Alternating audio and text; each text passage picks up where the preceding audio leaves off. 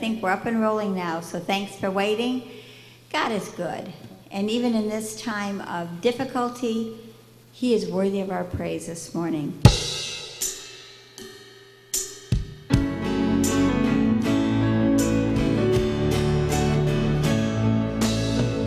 You are my joy. You are my song. You are the the one I'm drawing from. You are my refuge, my whole life long. Where else would I go? Surely my God is the strength of my soul. Your love defends me. Your love defends me. And when I feel like I'm all your love defends me. Your love defends me.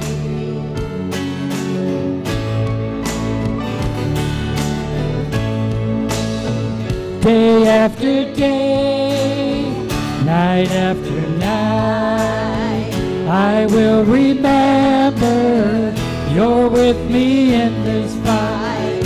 Although the battle it rages on, the war is already won.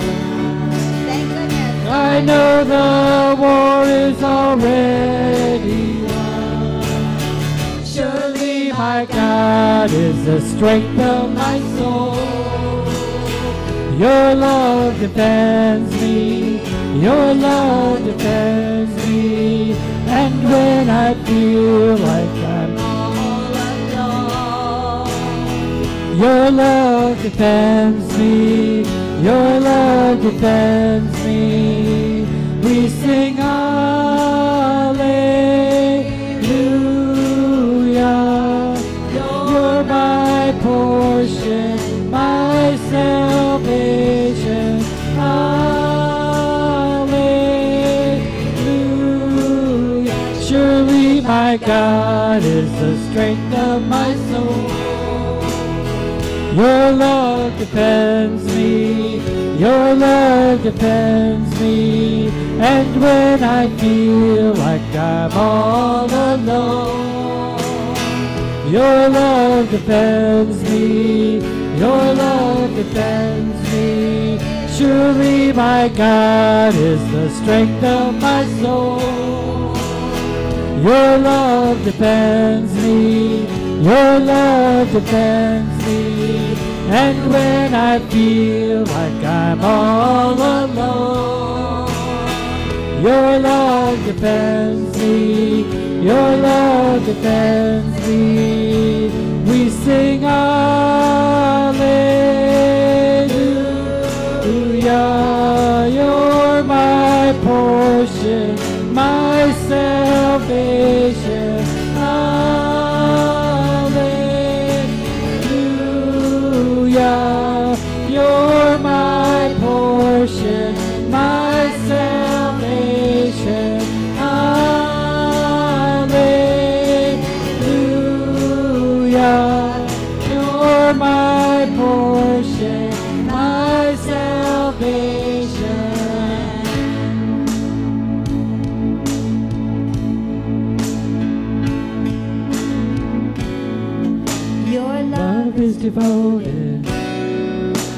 A ring of solid gold, like a vow that is tested, like a covenant of old.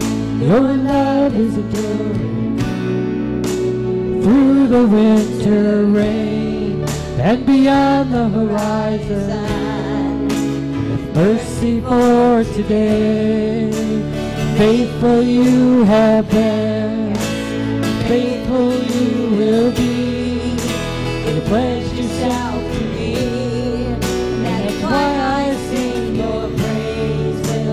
ever be on my lips, ever be on my lips. Your praise will ever be on my lips, ever be on my lips. Your praise will ever be on my lips, ever be on my lips. Your praise will ever be on my lips, ever be on my lips.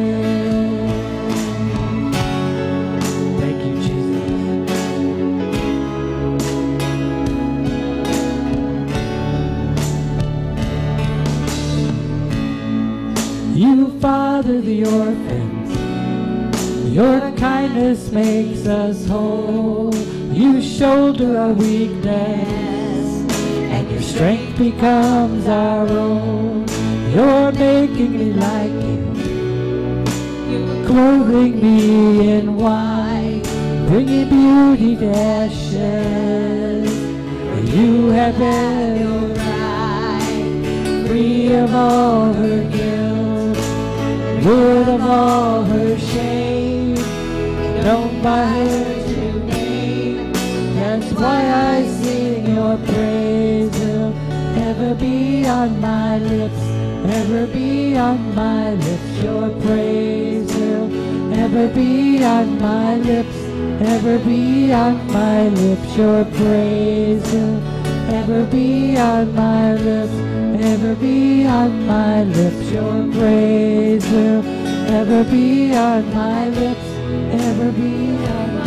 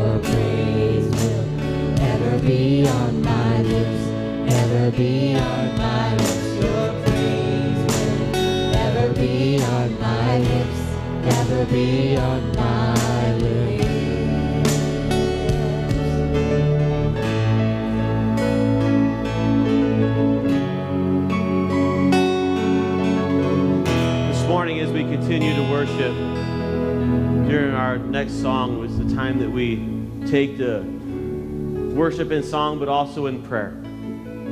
And going through a season like we're going through now with the, the isolation and the always changing and so many questions, it makes it so clear that we need prayer at the heart of everything we do.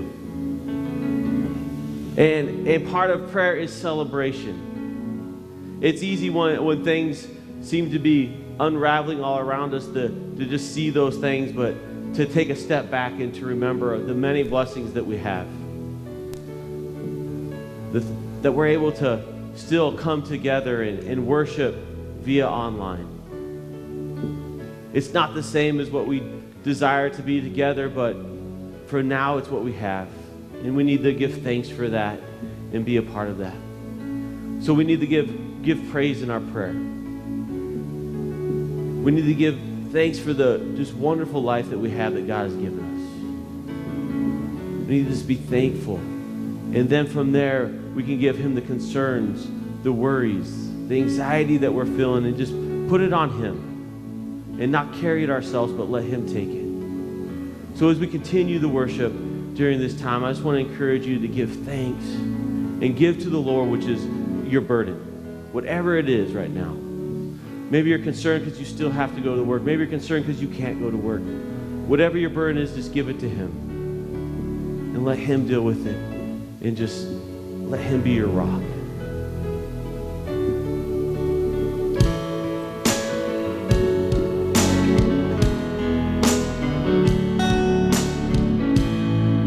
Let the King of my heart be the mountains where I run fountain I drink from, oh, he is my song. Let the king of my heart be the shadow where I hide, the ransom of my life, oh, he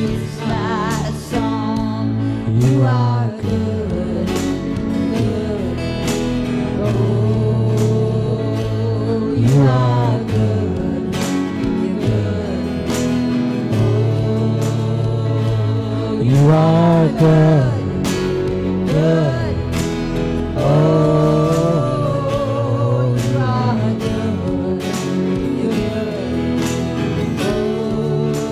Oh, let the King of my heart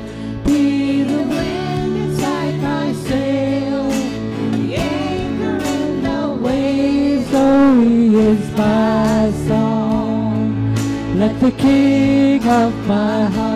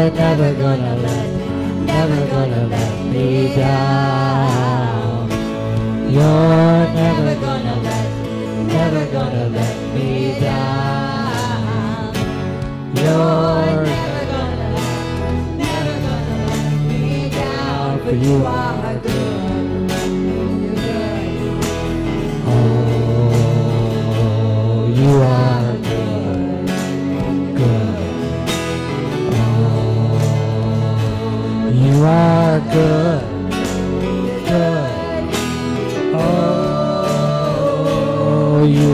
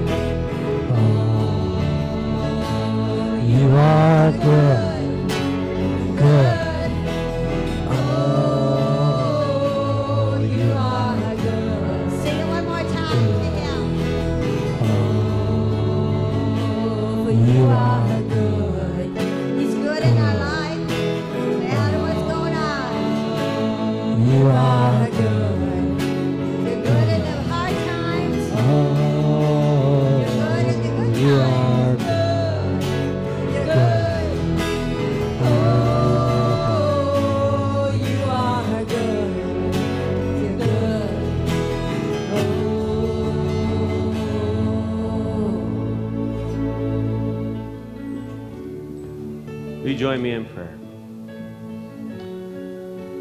Dear Heavenly Father, you are so good. And we are so blessed, Lord, that we could worship our Creator, our Father in heaven. Because He loved us so much, He sent His Son to die and be risen from the grave for us so that we might just choose to seek and to love and follow him. Lord, we just come before you with all that we've been going through. As a nation, as a state, as a, as a church, Lord, we just give it to you and we lay it at your feet. And we ask, Lord, that you will just give us patience. Lord, that you will answer the questions that can't be answered, that you will bring peace where there only seems to be anxiety and, and angst. Lord, I ask that you just bring comfort through your Holy Spirit. Lord, we give, we give thanks that you have sent your Holy Spirit to comfort us, to lead us, and to guide us, Lord. And we ask that you will help us to set our heart on you, Lord, so, so we can be led and we can be comforted. Lord, help us not to, to look to ourselves or look to man for the answers, but that we'll look to you, Lord. During not only a time like this, but each and every day of our lives. Lord, we ask that we will seek you for the answers and not our government and not our, our, our senators and not the, the, the governors of our states, not the leaders in our local area, but that we'll look to you for the answers that we need for our lives. Lord, we ask that you will help us to have the, the fortitude to protect ourselves and to make wise decisions.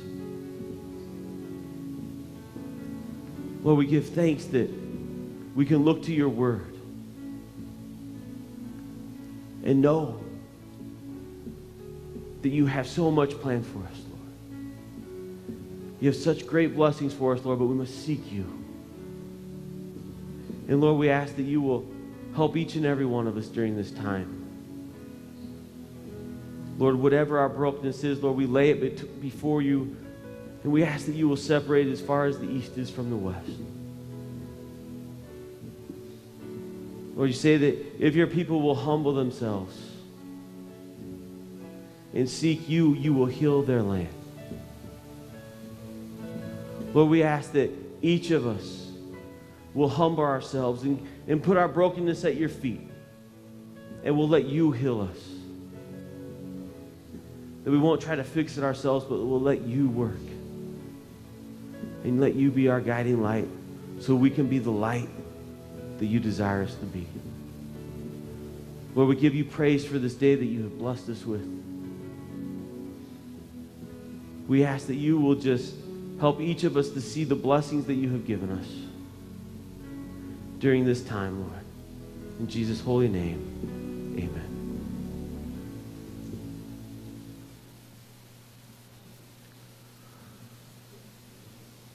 Well, if you you see when our, our start time was this morning um, on our, our live stream, we had a few uh, technical difficulties with the internet.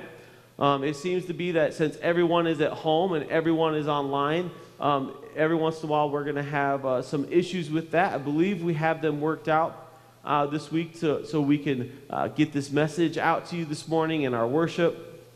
And so um, if it is to the point to where you're not able to get it now, we will be uploading it so you can uh, listen to it and watch it later um, on Facebook or on YouTube uh, as well from our channel. Boy, things have really been crazy the last few weeks, haven't they? And it seems like as we get an answer for one question, there's 10 more questions to go with it. It seems like just as we think we're getting closer to the finish line, they move the finish line. And it kind of it's just kind of how life is sometimes. How just as we think we're starting to get things figured out, we're starting to get a plan for things, things change. And it's so clear, at least seems to be clear to me during a time like this, that we just need to be ready to be in the moment that we're in and to give praise and to be thankful that we're in that moment. And that sometimes what we're desiring and we want to get back to is less than what God has for us. As we look at Palm Sunday this morning, and the triumphant entry of Christ. Jesus is coming in to Jerusalem. And he's coming on the final voyage of his three year ministry. He's been out teaching and healing and feeding and just doing miraculous things. And before this moment, he has been trying to, in essence, uh, guard who he is as God's son. He has been trying to, to build up, in essence, uh, this ministry that will draw people to him for the moment that is to come and culminate his ministry and start his final task on Good Friday. He's coming in, preparing for a time of feast and remembering. And he's coming in triumphantly. And the way this whole story builds is it's kind of interesting because he's he comes in so humble that he doesn't even have his own colt to ride. He has to, in essence, borrow a colt to ride in like a king would on a borrowed colt. And it, it's interesting because the people are so excited in this moment. How did the, the word of mouth get out? How did people know that he was coming? How did it, how did it all happen to where people would be lining the streets and cheering him as he entered?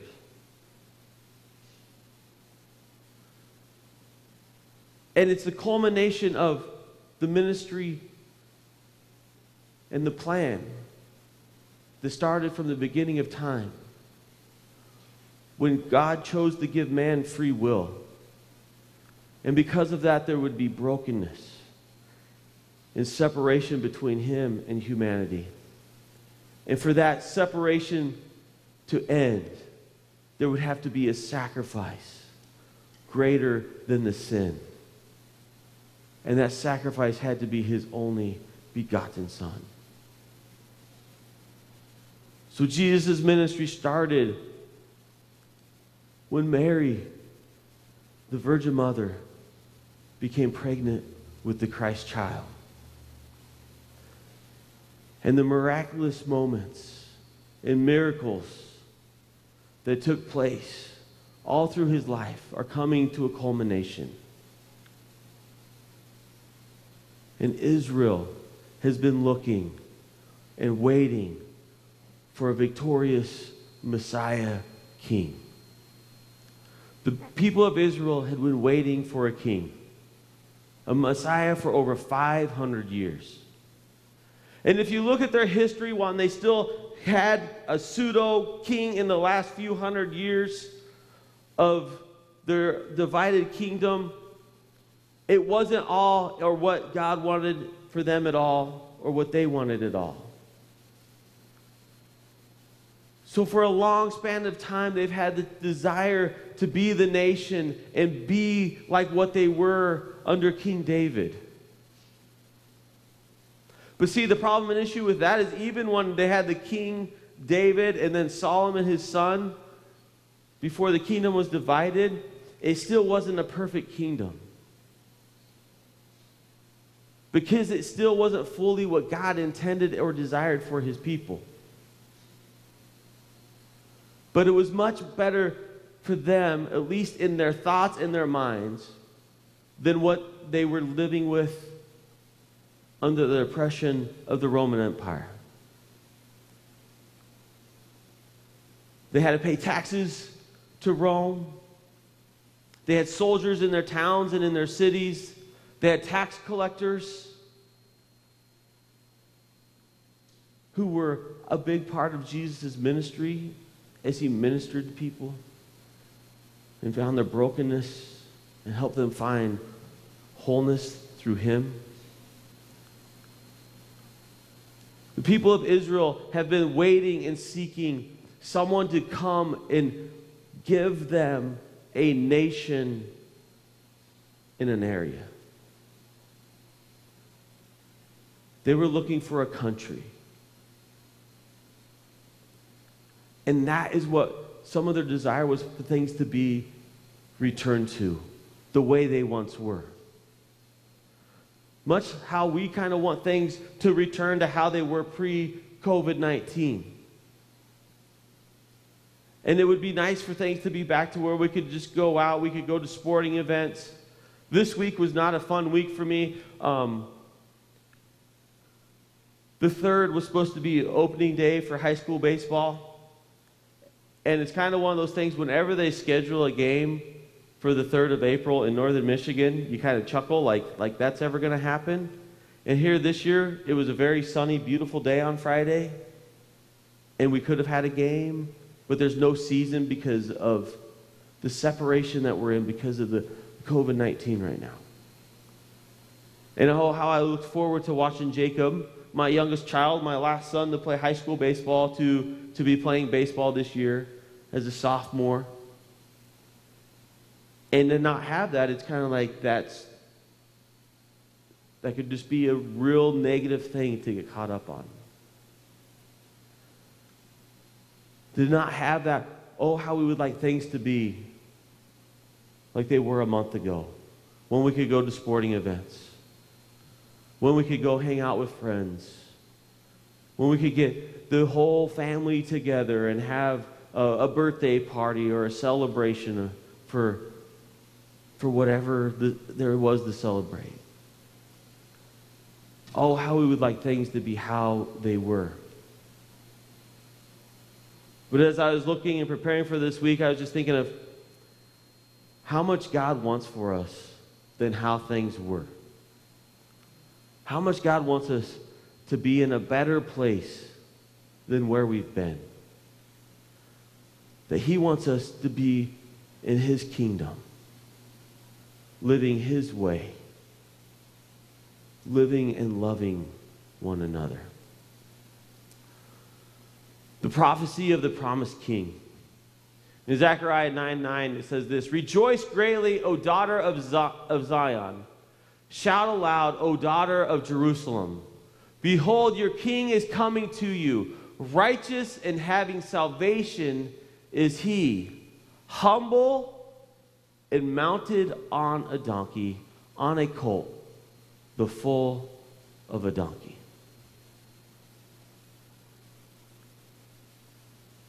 A humble king. It's almost impossible for that to be the case for an earthly king to be humble. Because a king has power over anyone and everyone in his territory. A king can take and have whatever he wants from his kingdom. He can make people do whatever he desires them to do. And all we have to do is look at the world history and understand it's pretty much impossible for man to be completely humble without pride, without prejudice of some sort or some kind. But for Christ, it was who he was, completely and totally humble. He had the ability to eradicate sin in a moment. But there would still be a division between man and God because there was a price that had to be paid. And he's choosing to take this journey to the cross to pay that price so that we can be whole. And how important is it for us to remember that grace is a gift freely given and that we should never be proud of ourselves, but always humble, knowing that it was a gift that was given without strings. That all we have to do is seek. Seek Christ, our Savior, and we'll be whole. The problem is, is we often seek what we want, or we seek something less than what God has for us. And I believe that is kind of the issue for the crowd as Jesus is coming in. They're cheering and they're seeing him as this hopeful king that is going to free them from Rome. And they miss that he's going to free them so, from so much more themselves and their selfishness and their sin. That he's going to have a victory greater than just building a nation. It's going to be an eternal victory over what separates us from his Father. The peaceful entry of Christ. A donkey was a peaceful sign of a king's entry into a city.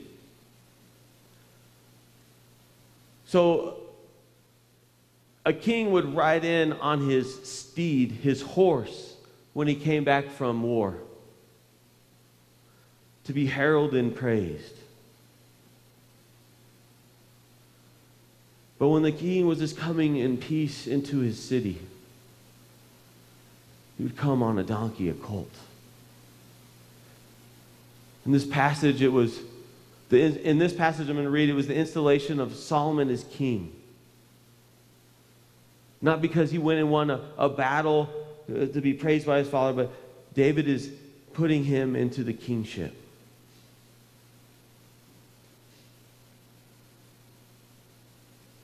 And I didn't put the passage in. So I need my phone, honey, so I can read this.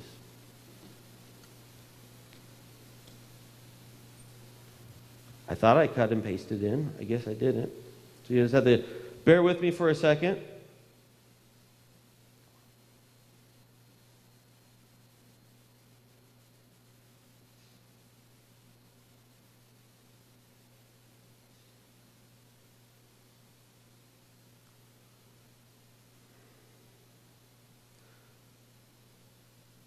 First Kings 1 38.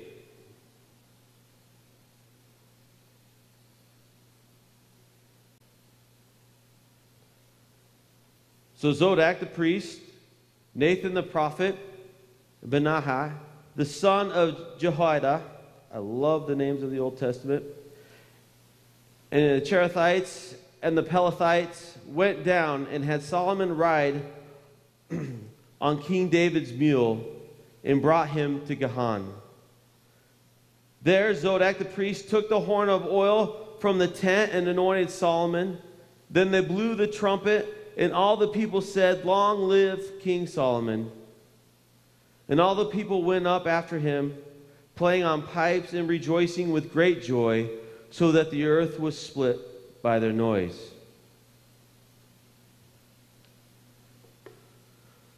He came riding in on a donkey, being placed into the kingship over Israel, being anointed by the priest and being celebrated by the people. Think of the imagery of that, of just a ticker tape parade celebrating what the people were looking and hoping for. That is the scene that Jesus is coming in as the peaceful king coming in. But there's part of Israel that they want a, a, a king that is going to deliver them from under the yoke of Rome and make them free just to be a nation. But Christ, the king, was coming to give them so much more than that. The peaceful entry of Christ.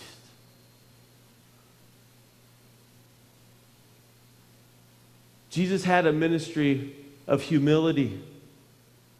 He did not do his will, but the Father's will in his ministry.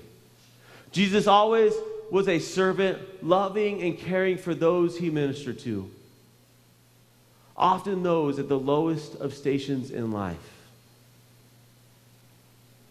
Whether it was the lepers he healed with just his voice, healing the ten lepers, or the blind man when he spat and put mud on his eyes.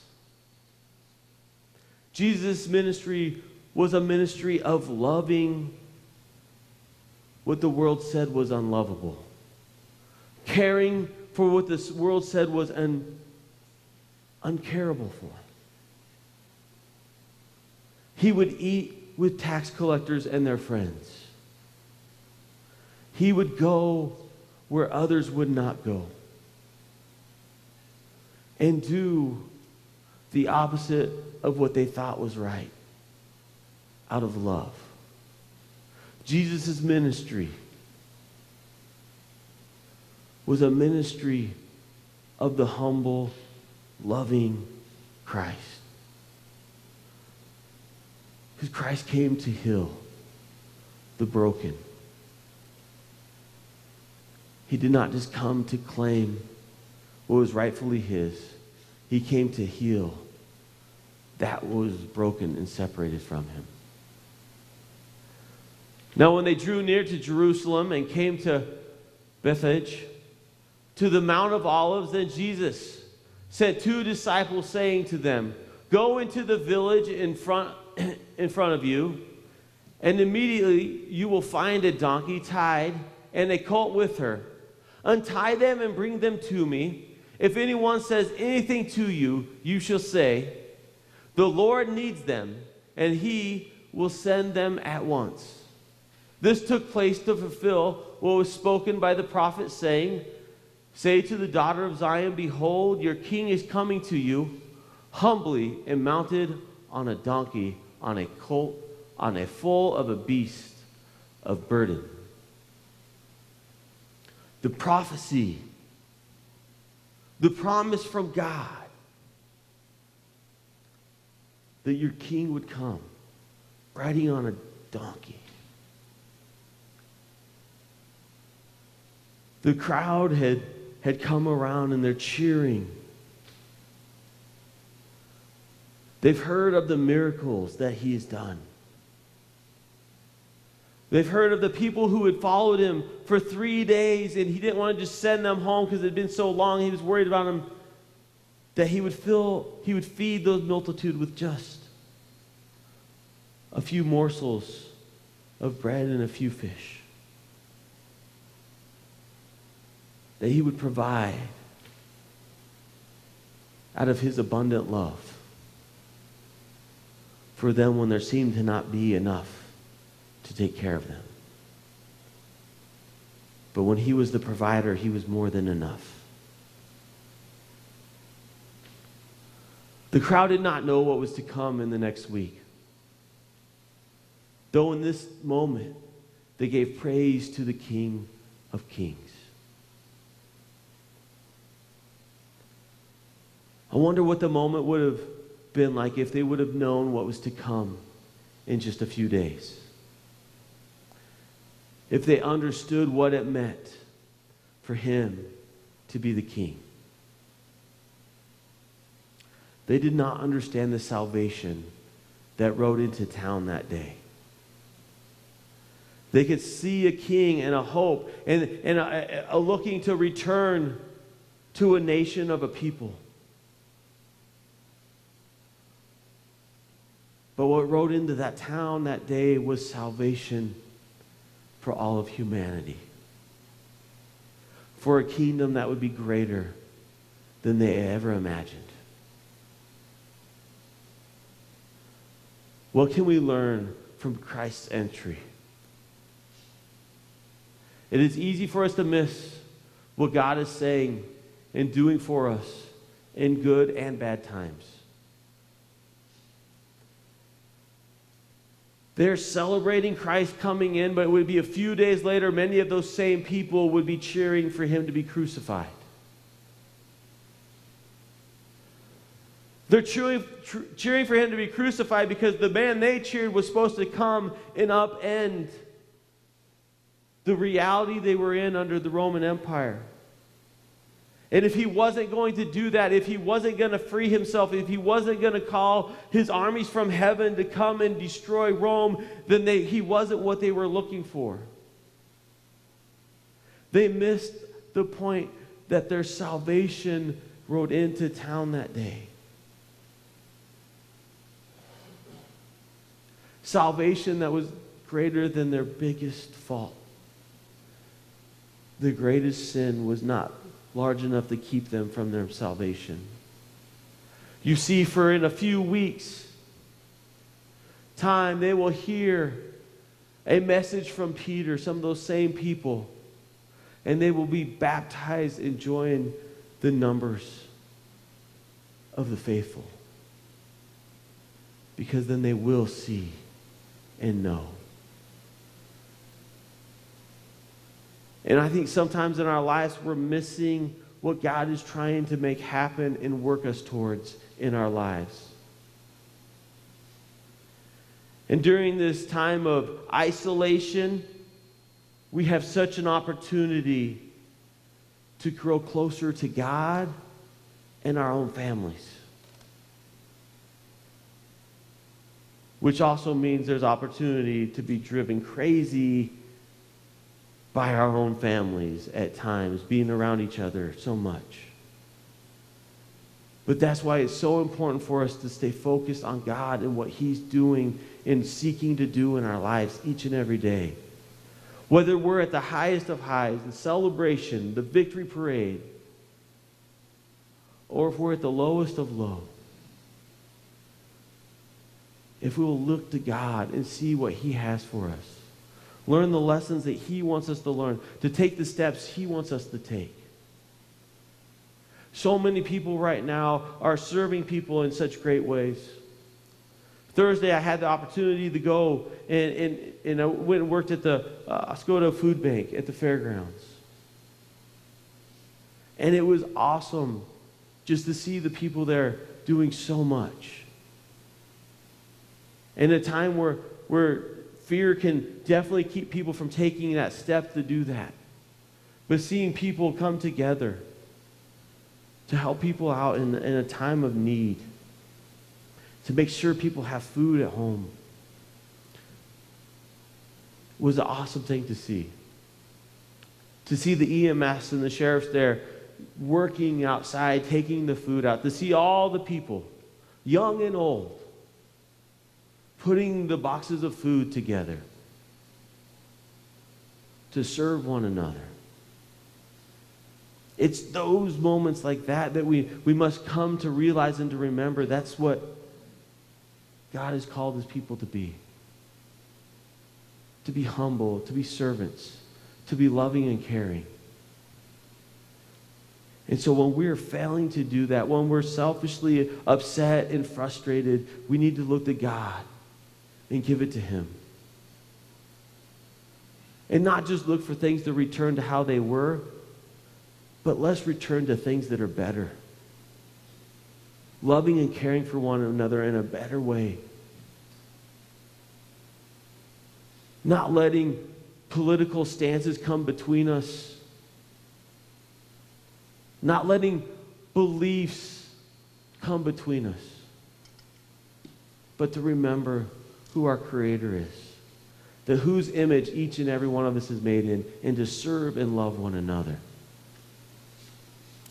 What if each of us looked at our life as Christ looked at his? That it's not for his will, but for the Father's will. You see, Israel wanted to return to a broken time. Though it was a better time than what they were in, it still wasn't a complete whole time that God has for us and wants for us. Christ came to bring us into a new and different kingdom in a new and different way. Christ didn't just come so our sins would be forgiven. Christ came so that we might be and live in his Father's kingdom. That thy kingdom come, thy will be done on earth as it is in heaven.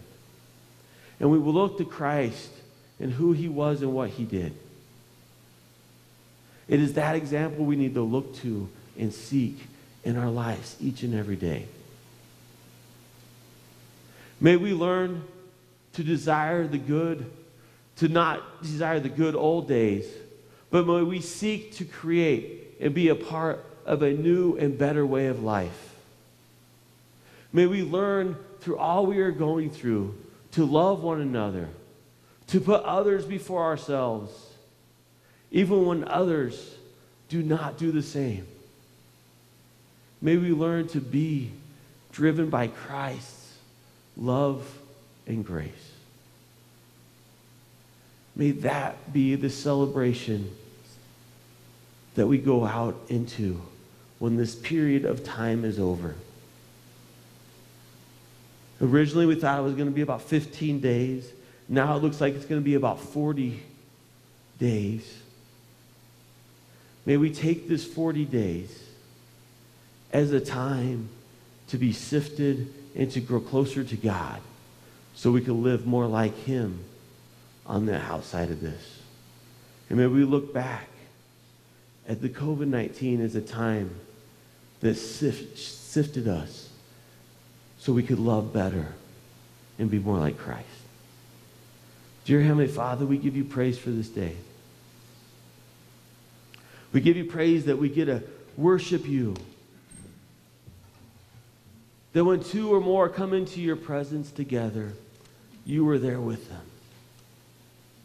But Lord, we give you praise that you have sent your Holy Spirit to be with each and every one of us, regardless of where we're at or what we're going through. And Lord, we ask that your Spirit will fill us with your love. Lord, that we'll seek to learn to love greater each and every day. Lord, we ask that you will take our brokenness and our sin. Lord, that we'll, you'll take our confessions and separate our sin from us as far as the east is from the west. We thank you for your Son the King of kings, the Lord of lords, that sacrificed himself so we could be whole, Lord. In Jesus' name, amen.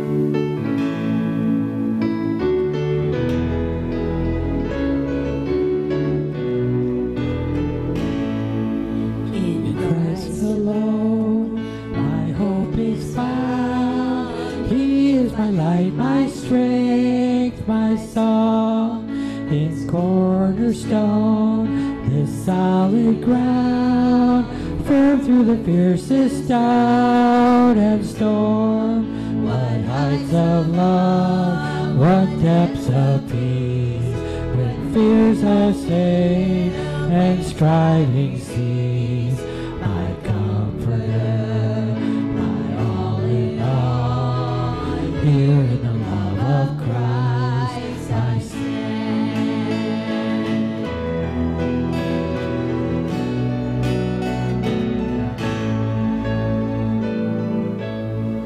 in Christ alone, who took on flesh, fullness of God in helpless babe, this gift of love and righteousness, scorned by the ones he came to save, till on the cross, as Jesus died, the wrath of God was satisfied.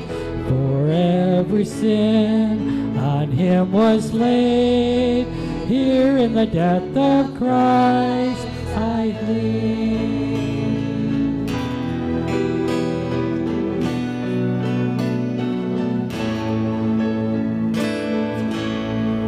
There in the ground, his body lay, light of the world, thy darkness slain, then bursting forth in glorious day, up from the grave he rose again, and as he stands in victory, the sinner lost his grip on me. For I am his, and he is mine, bought with the precious blood of Christ.